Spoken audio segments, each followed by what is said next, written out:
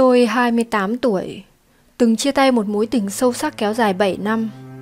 Chẳng vì ai phản bội ai mà do cả hai cảm thấy tình cảm ngày càng nhạt nhẽo nên quyết định dừng lại. Cho đến khi gặp anh, tôi mới tin mình chia tay người cũ là đúng, bởi đây mới chính là người đàn ông mà tôi cần. Có điều, anh là người đang có vợ.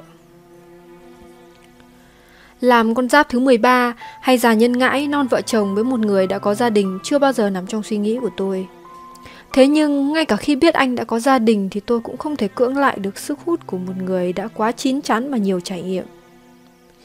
Anh bảo vợ chồng anh không được hạnh phúc lắm, nhưng anh chưa bao giờ có ý định ly hôn vì hai đứa con của anh và vì mẹ anh vốn yêu quý vợ anh như một người con gái ruột.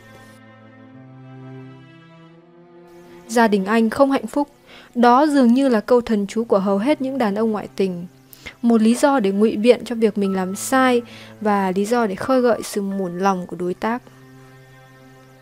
Tôi biết như vậy, nhưng không hiểu sao tôi vẫn xa vào mối quan hệ này. Cho đến một ngày tôi có thai thì tôi biết đây không còn là chuyện yêu đương hời hợt nữa. Cái thai này thực sự là ngoài ý muốn. Tôi thật lòng không hề muốn dùng đứa trẻ để trói buộc anh. Nhưng sự thể đã rồi, tôi cần anh cùng tôi tìm cách giải quyết.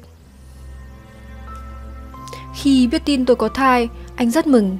Điều này nằm ngoài mong đợi của tôi, vì tôi nghĩ anh sẽ không bao giờ vì tôi mà ly hôn.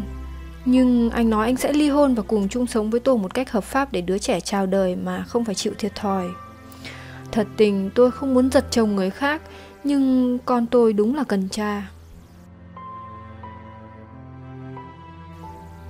Một sáng cuối tuần, có một người phụ nữ đến nhà tôi.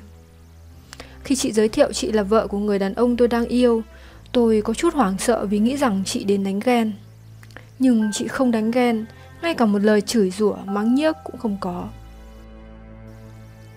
Chị chậm rãi ngồi xuống, nhìn căn phòng trọ ngăn nắp và tiện nghi của tôi. Chị nhìn tôi rất lâu trong lúc tôi đang bối rối không biết phải nói gì. Em đúng là đẹp như trong tưởng tượng của chị. Hèn nào chồng chị xưa nay dù lăng nhăng nhưng nhất quyết không bao giờ đem gia đình ra đánh đổi, nay lại tha thiết muốn được ly hôn.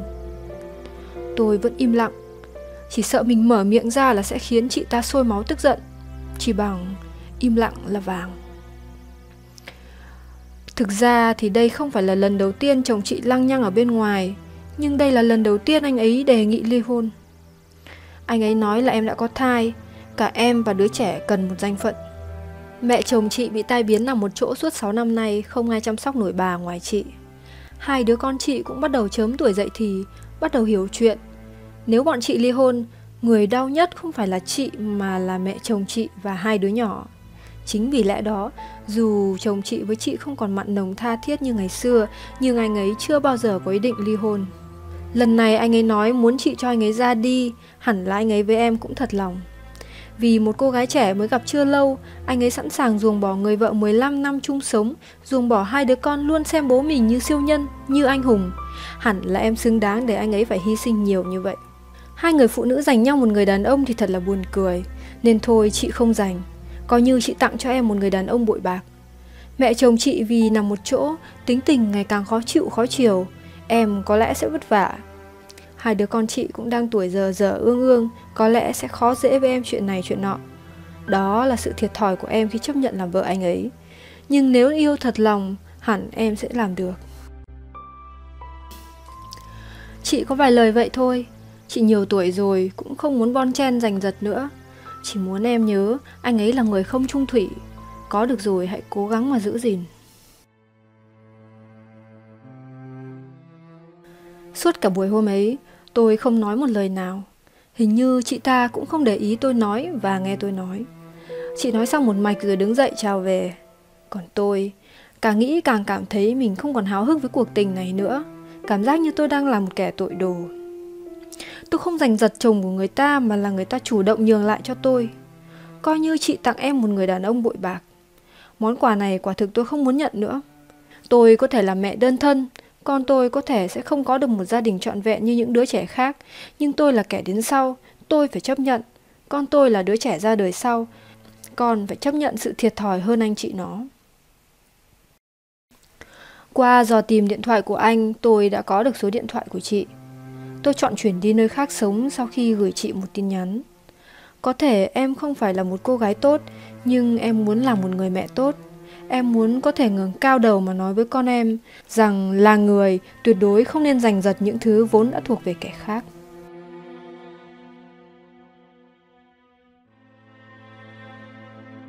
Tôi là con giáp thứ 13. Lấy chồng được 2 năm thì tôi ly hôn, cũng chỉ vì tình yêu anh dành cho tôi không còn như trước. Là một người phụ nữ, tôi cảm nhận được những vòng tay anh ôm không còn trọn vẹn, xen lẫn những tiếng thở dài. Anh thú nhận không còn tình cảm với tôi và đã yêu người khác. Dù rất đau khổ và có lúc định đi đánh ghen người phụ nữ của chồng vì cho rằng chính cô ta đã làm cho anh không còn yêu tôi, phá nát hạnh phúc gia đình tôi. Nhưng rồi nghĩ lại, tôi quyết định ly hôn vì chẳng muốn níu kéo những gì không thuộc về mình. Tôi ôm con ra khỏi nhà chồng, gửi con về cho mẹ chăm sóc, thuê nhà ở riêng và lao vào công việc như điên. Sau 5 năm cật lực, không nghĩ đến chuyện hôn nhân, hẹn hò, công việc đã ổn định và có một khoản tiền tích lũy, tôi đón con lên ở cùng và mua một căn nhà nhỏ để hai mẹ con sinh sống. Thời gian này công việc đỡ vất vả hơn, bản năng làm đàn bà của tôi trỗi dậy.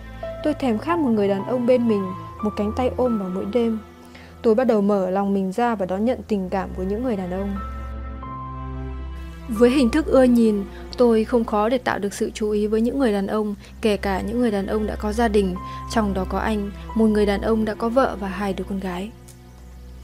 Thời gian đầu anh chỉ coi tôi là bạn, nhưng sau đó với sự chủ động của tôi, anh đã không cưỡng lại được ham muốn dục vọng và những điều mới lạ của một người đàn bà từng thất bại trong hôn nhân, đang khao khát tình yêu. Chúng tôi lao vào nhau như những con thiêu thân. Anh là một người đàn ông có trách nhiệm. Đôi khi nằm bên anh, tôi biết anh vẫn nhớ vợ con, cảm thấy có lỗi với họ rất nhiều. Nhiều lần vì dây dứt lương tâm, anh đề nghị tôi chấm dứt ở đây, nhưng tôi từ chối. Vì tôi yêu anh, tôi không muốn mất anh. Tôi tìm mọi cách để có được anh, kể cả sinh cho anh một đứa con trai, vì vợ anh chỉ sinh được hai cô con gái. Bố mẹ anh muốn có con trai nên khi hay biết tin tôi, họ đã đến thăm tôi và nhận làm con cháu trong gia đình. Vợ anh biết chuyện và họ đã ly hôn với nhau. Anh nghiễm nhiên trở thành chồng của tôi. Tôi hạnh phúc với những gì đang có và hả hê vì đã chiến thắng người đàn bà là vợ anh.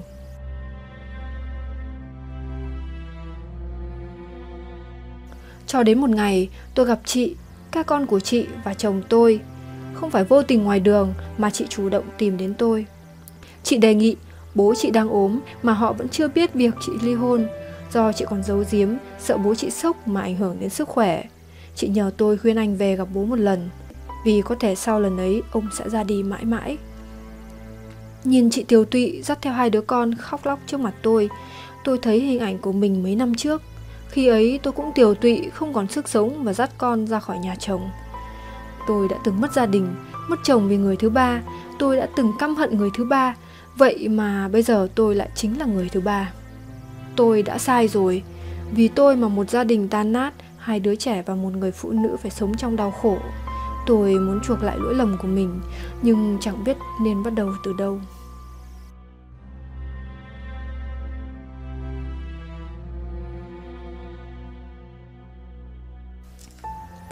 Phụ nữ à, vì sao bạn không nên làm người thứ ba?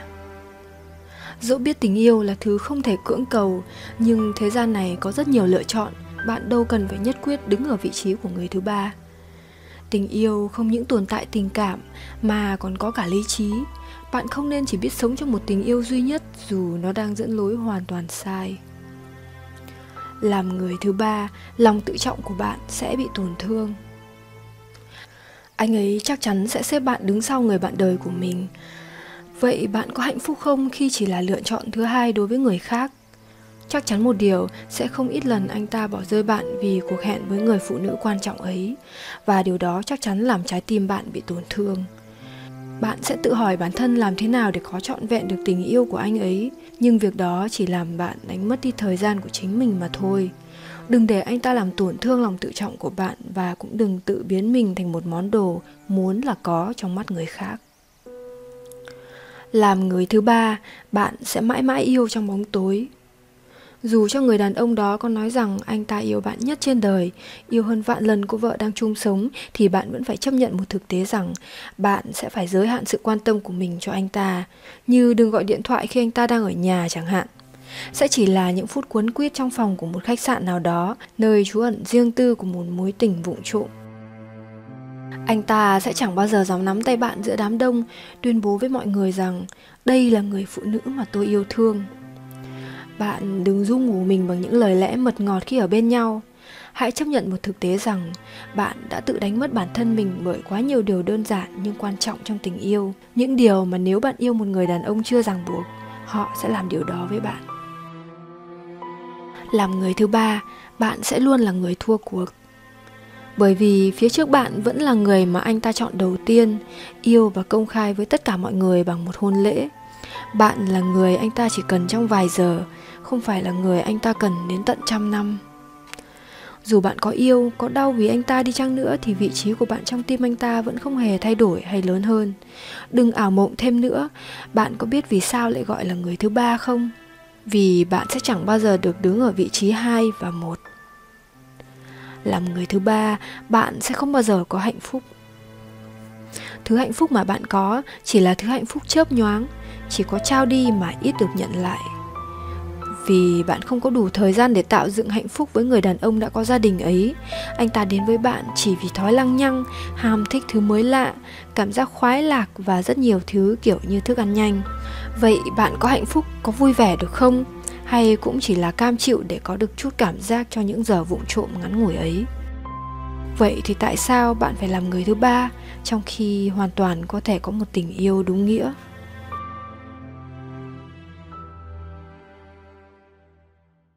Cảm ơn quý vị và các bạn đã theo dõi và ủng hộ kênh.